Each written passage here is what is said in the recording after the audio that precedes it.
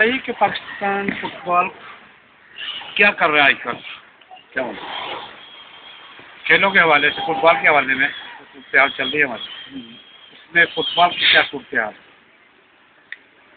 देखिए, अगर ये सवाल है तो मेरे नज़दीक तो बड़ा अजीब सा सवाल है कि पाकिस्तान फुटबॉल क्या कर रहा है, बल्कि मैं तो ये कहूँगा कि पिछले आठ साल से ही पाकिस्तान कुछ कर रहा है फुटबॉल। ये कहना कि कुछ नहीं कर रहा तो बिल्कुल ही समझता हूँ कि मुनासिब बात नहीं है, लेकिन मैं तकरीबन आप ये समझेंगे कोई अबाउट पच्चीस छब्बीस साल हो गए फुटबॉल से वापस हुए उन्नीस सौ पचासी में जब मैंने पहली दफ़ा नेशनल टीम की कोचिंग ली थी तो उस वक्त से अब तक मैं समझता हूँ कि जितनी भी फेडरेशन में मैंने काम किए मैं समझता हूँ कि सबसे ज़्यादा जो फेडरेशन वैलिड है जो।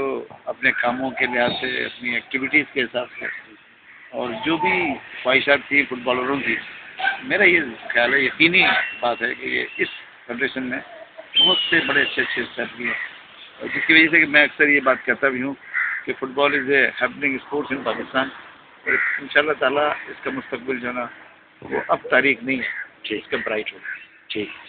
आपने खातन की कोचिंग की? बांग्लादेश के लास्ट भी आप गए थे। लास्ट में नहीं गए। अच्छा अब नहीं गए थे। तो क्या फ़र्क महसूस किया आपने? अभी जो बच्चियाँ जो देखिए मैं जब वुमेन टीम लेके बाहर जा रहा था तो मुझे असाइनमेंट मिला। जी। तो मैं आपको एक बात बताना चाहूँगा कि पाकिस्तान में वुमेन एक्टिविटी जब पाकिस्तान फुटबॉल फेडरेशन ने शुरू की जी जी। That was started by me start ही मैंने पाकिस्तान में और एक फीफा की इंस्ट्रक्शन पे पाकिस्तान फुटबॉल फेडरेशन ने एक कोर्स कंडक्ट करवाया था मुझसे। जी जी। इस्लामाबाद में जिसमें पैंतालीस लड़कियाँ पूरे मुल्क से आई थी। जी जी। और वो ज़्यादातर उस कोर्स बैकग्राउंड की लड़कियाँ थी कि जो एजुकेशन से वापस करती हैं और जो खेलों से वाबस्ता थी तो पढ़ी लिखी लड़कियाँ तो वो जो कोर्स था वो कोचिंग एडमिनिस्ट्रेशन और रेफरिंग का कोर्स था, वो हमने कंबाइन किया। उस कोर्स को मैंने जब लड़कियों के साथ किया तो ये वही तमाम प्रोडक्शन है जो अब वुमेन फुटबॉल में चल रहे और उसके बाद फिर आपको बताया कि नेशनल चैम्पियनशिप शुरू ठीक अभी जब मैंने ये नेशनल टीम को मुझे बुला के कहा कि आप ये सेट कप में जाएँ टीम को लेकर जी जी। तो जो लड़कियाँ उन्होंने मुझे मुहैया करी थी, मैंने देखा तो मैंने महसूस किया कि अभी इसकी बेसिक टेक्निक बहुत कमज़ोर हैं और हम एक बड़े ही बनने जा रहे हैं, क्योंकि इंडिया जो है वो फोर डेकेड से वुमेन फुटबॉल खेल रहा है। नेपाल की बहुत रिच हिस्ट्री है फुटबॉल की वुमेन की। फिर उनका जो है मोर देन थर्टी ईयर्स से फुटबॉल खेल रहा है वुमेन में। तो मैं अंदाज़ा कर रहा था कि अभी हमारी तो बड़ी बिगनिंग है। हमारी लड़कियाँ भी उस मैच पर नहीं। लेकिन मैं मैं बड़ा खुश हुआ इस बात को देख के कि लड़कियाँ उसमें सीखने की मंग बहुत and they were very enthusiastic जो रिज़ल्ट आया वो बड़ा अच्छा हाँ, मतलब तो कामयाब रिज़ल्ट था।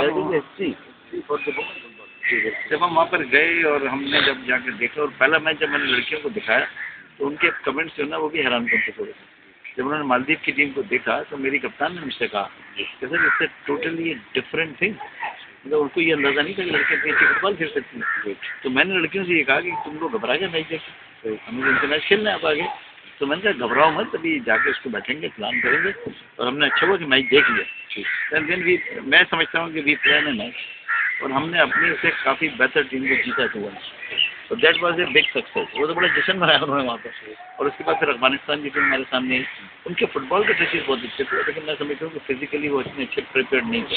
तो हमने सेकंड मैच जीता और हमने सेमीफाइनल भी नहीं क्वालिफाई तो मैं समझता हूँ वो लड़कियों ने एक हिस्ट्री ब्रेक की और एक ऑनर हुआ कि साफ़ कप में हम गए।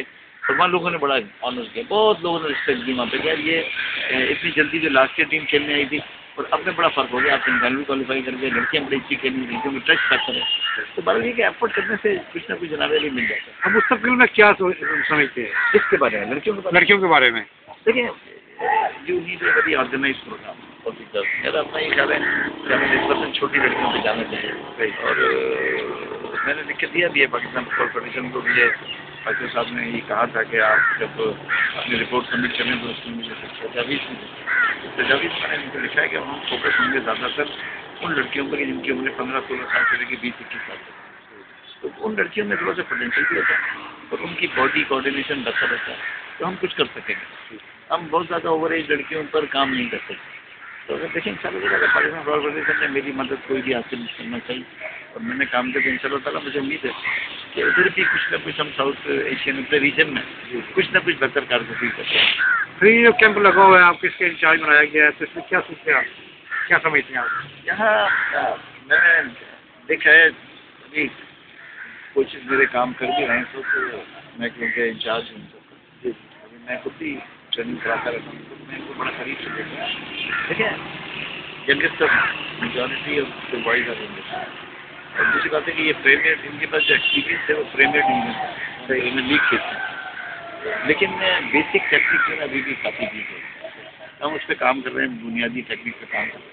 और एक इनकी थोड़ी सी मेंटलिटी जो है ना उसको चेंज करने की मैं कोशिश कर रहा हूँ। मैं चाहता हूँ कि ये मेंटली जो है ना अपने आप को हारा हुआ ना समझे। अपने आप को हारा हुआ ना समझे। मेंटली इनको स्ट्रांग होना चाहिए। और इनको अपने ऊपर कॉन्फिडेंस होना चाहिए थोड़ा सा। मैं समझता हूँ यहाँ पे ये बड़ी अच्छी अच्छी हरकतें खेलने में करते हैं ये। लेकिन when they are plays against opponent क्या बाहर के मुल्क से खेल रहे हैं तो अपने ही कॉन्फिडेंस को लूज करते हैं तो मैं इनसे ये कहता हूँ कि नहीं, आप अपने कॉन्फिडेंस को लूज ना करें। यू शुड बी कॉन्फिडेंट आपको रहना चाहिए क्या? नहीं we can play against Malaysia we can play against Thailand क्यों आपको परेशानी होती है? तो I am trying to develop them mentally और प्लस जो भी मैं एफर्ट्स कर सकता हूँ ताकि ये कोहेसिव यूनिट बने और हम कम से कम ओलंपिक में जाके कम से कम बहुत शुक्रिया। थैंक